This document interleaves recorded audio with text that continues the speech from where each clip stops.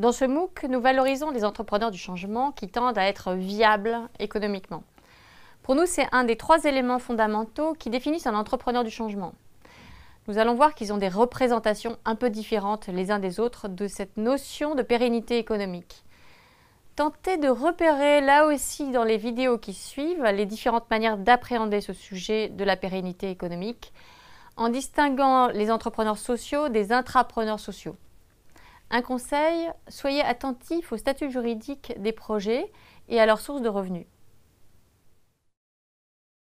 Alors Sport dans la ville est une association euh, créée en 1998 qui favorise l'insertion professionnelle des plus jeunes par euh, euh, le sport. L'idée c'est d'offrir à des jeunes issus des quartiers politiques de la ville de l'agglomération de Lyon des lieux d'échange et de débats sportifs, mais également les accompagner dans la durée afin de leur faciliter leur insertion professionnelle.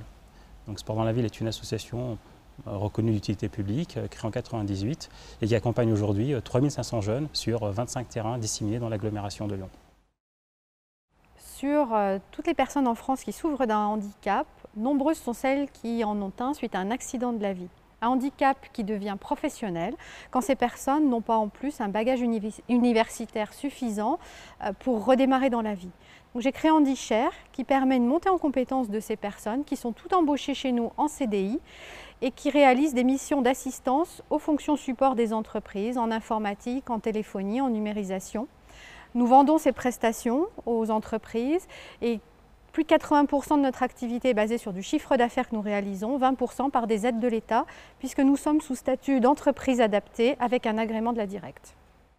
Le groupe Vitamine T est une euh, entreprise sociale importante, essentiellement implantée dans le Nord-Pas-de-Calais, dont l'impact euh, principal est de permettre à des hommes et des femmes qui sont exclus de l'emploi et qui connaissent des difficultés personnelles assez lourdes de pouvoir, grâce au modèle entrepreneurial qu'est le nôtre, de retrouver un accompagnement, une formation, un emploi.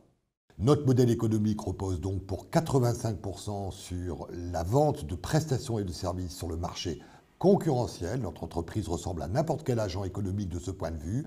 Et 15 points d'aide publique à l'emploi qui nous permettent de renforcer l'encadrement et l'accompagnement social de ces hommes et de ces femmes qui sont aujourd'hui près de 3000 dans mon groupe.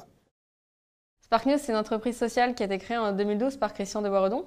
Donc ça part du constat suivant, c'est qu'il existe énormément de solutions partout dans le monde qui ne sont pas connues. Et en fait, plus ces solutions seront connues, plus elles pourront euh, euh, et s'aimer, inspirer des gens, euh, que d'autres gens pourront rejoindre le projet, créer des partenariats avec euh, d'autres institutions. Et donc, on veut vraiment médiatiser ces projets-là en utilisant en fait les médias classiques qui sont une formidable caisse de résonance pour, pour toutes ces solutions. c'est pour ça en fait qu'on a créé l'Impact Journalism Day. Donc en fait, on fédère les plus grands médias autour de cet événement éditorial et le même jour, ils partagent plein de solutions auprès de plus de 100 millions de personnes pour cette année. Euh, et donc, euh, dans chaque pays, on aura un supplément différent sur ces solutions. Euh, et pour, but vraiment de, vulgariser l'entrepreneuriat social à tous les lecteurs lambda. Spark News, a été pensé donc vraiment comme une entreprise, c'est-à-dire qu'on a un business model qui a été établi il y a un petit peu plus d'un an. On a des partenariats avec des entreprises qui sont, qui sont pérennes.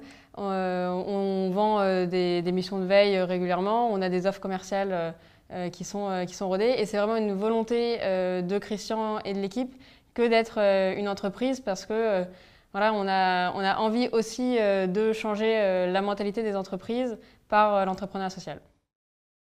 Alors cette, cette, définition, ce portrait de l'intrapreneur social, eh bien je, je, me reconnais dans cette définition-là parce que j'ai eu un parcours de, commerçant, on va dire, et, et marketeur euh, dans, plusieurs grandes, dans une autre grande entreprise, chez Michelin, avant d'arriver chez Renault.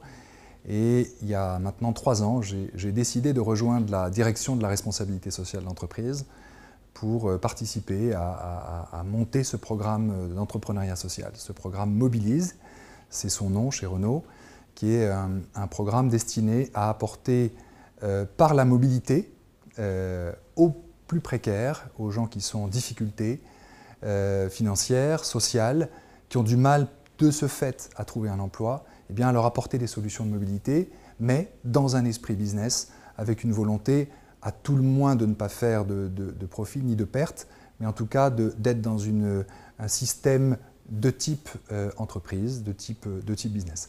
Donc nous avons démarré ce programme en 2011 et il a été officiellement annoncé en 2012. Et depuis lors, eh on, le structure.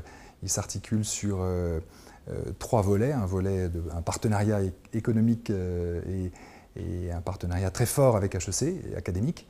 Euh, nous avons également décidé de créer des garages solidaires et puis enfin un fonds d'investissement euh, qui s'appelle Mobilise Invest et on investit dans des projets à dimension sociale, à impact social autour de la mobilité.